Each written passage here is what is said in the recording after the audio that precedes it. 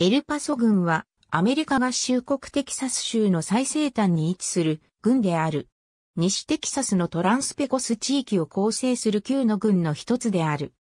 2010年国勢調査での人口は80万647人であり、2000年の67万9622人から17.8%増加した。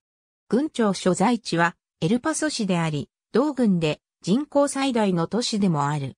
エルパソとはスペイン語で峠意味しており、軍名はリオグランデ川が両岸にある山地を抜ける時に作った峠にちなんで名付けられた。エルパソ郡は東に隣接するハズペス郡と共にエルパソ大都市圏を構成している。テキサス州ではこれらの2郡のみが山岳部標準時を採用している。以下は2000年の国勢調査による人口統計データである。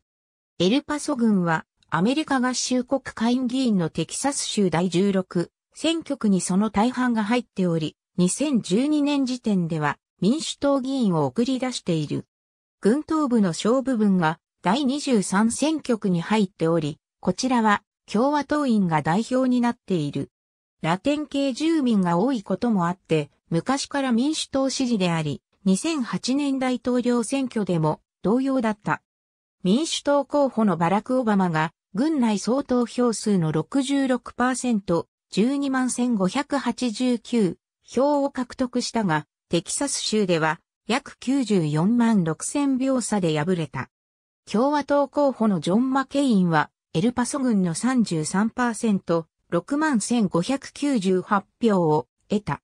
2004年の場合も民主党のジョン・ケリーがエルパソ軍を制したが、オバマよりは少なく56%、95,142票だった。共和党候補のジョージ・ W・ ブッシュは43%、73,261票を獲得した。エルパソ軍の保安官事務所は、軍内の未編入領域にある。昔はエルパソ市内にあった。レオ・サマニエゴ法執行事務所が保安官事務所に隣接してある。ありがとうございます。